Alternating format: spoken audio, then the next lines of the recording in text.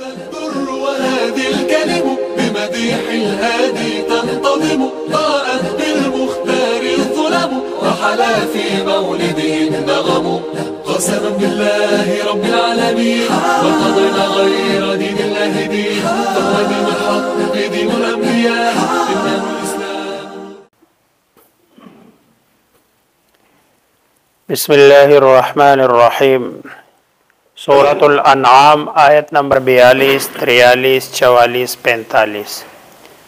ये आज का हमारा सबक है, वलक़द अरसलना और तहकीक। अरसलना हमने भेजे। क्या? रसूलन, बहुत सारे रसूल। कामन है, लिहाजा उसको ज़िक्र करने की ज़रूरत नहीं है। वलक़द अरसलना और हमने भेजे रसूल इला उममिन। तरफ़ उम्मतों के। मिन कबल का का आप। मिन से कबल पहले, आपसे पहले। आपसे पहले जितनी भी उम्मतें गुजरी है, जितनी भी अकवाम है, उन सब की तरफ़ हमने रसूल भेजा। रसूल की बात नहीं मानी।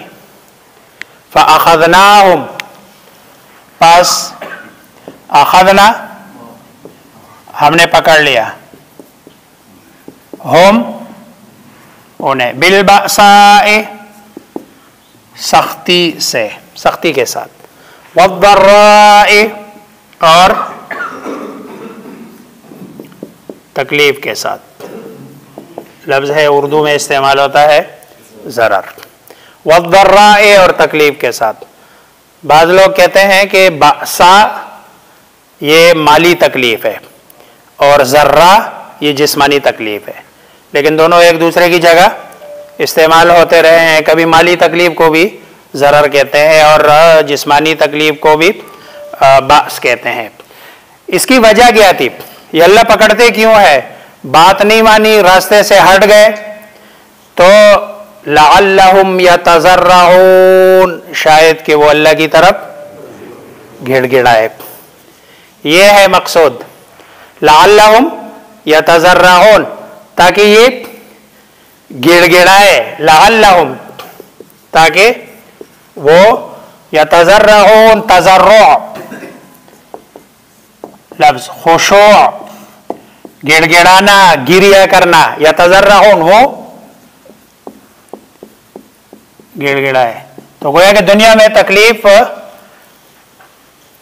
के आने का मकसद ये होता है कि बंदा अल्लाह की तरफ़ वापस चला जाए और अल्लाह तबारक व ताला की तरफ़ रुजू करे। फिर अल्लाह गिरा, गीला कर रहे हैं। फलौला पस लव क्यों, ला, नहीं, तजर्राऊ हो गिड़गिड़ा है। कब? जब जा आया हम उनके पास। सुना, हमारा आजाब वही हमारी सख्ती। ये उस वक्त क्यों नहीं गिड़गिड़ा है फलौला तजर्राऊ ये इसका ताल्लुक इसके साथ है। फलौला तजर्राऊ पर क्यों ना वो गिड़गिड़ा है इद जा बसना सुना कि जब आया उनके पास हमारा आजाब तो उस वक्त उन्हें गिड़गिड़ाना चाहिए। था लेकिन गिड़गिड़ाए नहीं। वलाकिन कसत कुलूबहुम, लेकिन सख्त हो गए कुलूबहुम उनके दिल। वजयन लहुम शैतान, और मुजयन कर दिया, आरास्ता कर दिया, लहुम उनके लिए शैतान ने मा कानू यामलून, वो जो वो करते थे। शैतान यही बताता रहा कि जो तुम कर रहे हो ये ठीक है। फलम्मा नसो बस जब वो भूल गए, माँ दुखी भी जिसकी उन्हें नसीहत की गई थी, फतहना अलहिम अबवाब कुल्ली शय। फिर अल्लाह ने उनके लिए सारे दुनिया के खजाने खोल दिए। खाओ पियो और ऐश करो। हत्ता इधा हो यहाँ तक कि वो खुश हो गए। बिमा ऊतू। उसके साथ जो उन्हें दिया गया अखदना बगता। फिर हमने उनको पकड़ लिया अचानक। फ़ैदा उम मुबलिसून, फिर वो ऐसे तर्जुमा तो करते हैं, मायूस रह गए, लेकिन मैं तर्जुमा करता हूँ, वो हक्का बक्का रह गए। फ़ायदा उर्दू में इसका जो टाइट तर्जमा है, वो यही है फ़ायदा हम मुबलिसून। बस वो अचानक हक्का बक्का रह गए कि ये क्या हो गया, हमें तो फ़कुत आदाबिरकौम बस काट दी गई जड़ अलकौम उस कौम की अल्लादीन ज़लम, जिन्होंने जुल्म किया। अल्हम्दुलिल्लाह रब्बिल आलमीन। और तमाम तारीफ़ें अल्लाह के लिए है कि दोनों जहानों का रब है। वलाकिन कसत कलूब हम फ़लौलाजाहम और क्यों नहीं? अब देखो, इससे एक, इन दो आयात से एक नतीजा निकल रहा है। अल्लाह की तरफ़ से जब पकड़ आती है ना तो लोग पूछते हैं, भाई, ये आजाब है, आजमाइश? ये एक सवाल है, इन, इस सवाल का जवाब इन दो आयतों में है। अगर कोई बंदा अल्लाह तबारक व ताला की तरफ़ से पकड़ आ जाए और वो ये वाला काम इख्तियार करे। तो उसके लिए ये आजमाइश थी। और ये वापस आ गया, गोया और वो उस आजमाइश में उसको कामयाबी भी मिली। लेकिन अगर वो ये वाला काम ना करे और कसत कलूबोम और उनके दिल सख्त हो जाए, वो कहते ठीक है, सैलाब भी आते रहते हैं, जलजले भी आते रहते हैं और ये जो माशी, जो हालत है, ये भी खराब होती रहती है। इससे कोई फ़र्क नहीं है इसका। दीन के साथ कोई ताल्लुक नहीं है और अल्लाह के निज़ाम के साथ इसका कोई ताल्लुक नहीं है। वलाकिन कसत कलोब हम तो फिर ये क्या? अखदना हम बख्ता अल्लाह उनको और ये उनके लिए फिर ये क्या है? अल्लाह का आजाब बनता है। तो गोया कि अल्लाह की तरफ़ से पकड़ के बाद अगर कोई आदमी अल्लाह की तरफ़ रुजू करता है तो समझ लो ये उसके लिए आजमाइश है। और जो अल्लाह की तरफ़ रुजू नहीं करता, समझ लो कि अल्लाह की तरफ़ से उस पर क्या है आजाब। तो गोया कि बाज लोगों के लिए वही जो अल्लाह की तरफ़ से आया, वो आजमाइश और बाज लोगों के लिए वही जो अल्लाह की तरफ़ से आया गया है आजाब। अब हमने उसको आजाब बनाना है और ये आपने लिए उसको आजमाइश बनाना है। ये मेरे और आपके हाथ में है। वलाकिन कसत कलूब हम बस क्यों नहीं? जब आया उनके पास, हमारा आजाब तजर्रा वो गिड़गिड़ाए, वलाकिन कसत कलूब हम लेकिन कसत सख्त हो गए। कलूब हम उनके दिल वजैना और मुजयन कर दिया। आरास्ता कर दिया, लाहोम, उनके लिए। फ़ाइल कौन है? जयना का। अशैतान शैतान ने। मफूल क्या है? माकानु यामलून। उसको जो वो करते थे। शैतान ने मुजयन किया। उसको जो वो करते थे। यानी उनके अमाल को। जो वो करते थे। फलम्मा नसो।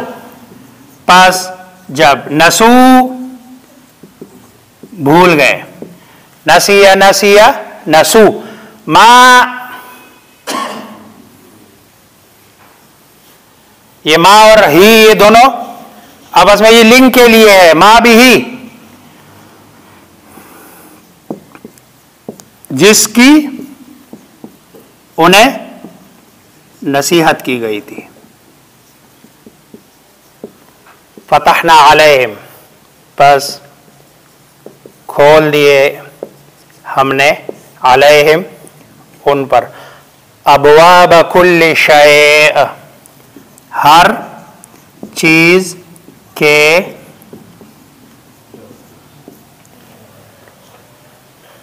तेल भी उनके पास, मादनी ज़खायर भी उनके पास, उनकी माशी हालत भी ठीक है, सुपर पावर भी वो है, सब कुछ है, और हम उनसे बड़े जो है ना उससे कि यार ये देखो ना, ये अल्लाह फरमाते फतह ना अलहिम बकुल्ल शय। हम दुनिया के सारी चीज़ें उनके हाथ में देते थे। हत्ता इधर पर हो यहाँ तक कि जब फारिहू, वो खुश हुए और खुश होते हैं, बेमा ऊतू, उस पर जो उन्हें दी गई। बस वो उसी में मशगूल हो गए और अपनी ज़िंदगी उसी में गुजार रहे। अखदना हम पकड़ लिया। ना हमने, उन्हें बगतन अचानक। फ़ैदा हम ये इदा इसको अरबी वाले कहते हैं मुफाजातिया। मुफाजात का मतलब है अचानक।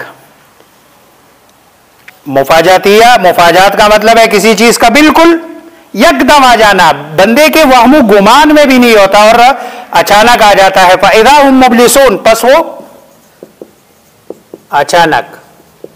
क्या होते हैं? ना उम्मीद होते हैं। या हक्का बक्का रहते हैं। फ़कोत्या पस काट दी गई। दाबिर जड़ अलकौमिल्लदीना उस कौम की अल्लदीन ज़लमो जिन्होंने जुल्म किया उसकी जड़ कट गई और अल्लाह वल्हम्दुलिल्लाह रब्बिल और तमाम तारीफ़ें उस अल्लाह के लिए है कि जो रब्बुल वो अब भी है और तब भी थे और बाकी रहेंगे अल्लाह की तारीफ़ भी बाकी और अल्लाह की ज़ात भी बाकी। अल्लाह ज़ात के एतबार से भी बाकी और अल्लाह सिफ़ात के एतबार से भी बाकी। अल्लाह को जवाल नहीं है और ये बाकी सारी जितनी भी चीज़ें हैं, ये पहले नहीं थी, फिर आई, आगे इनको जवाल होगा। अल्लाह मुझे आप सबको समझने, अमल करने की तोफ़ी ख़त्म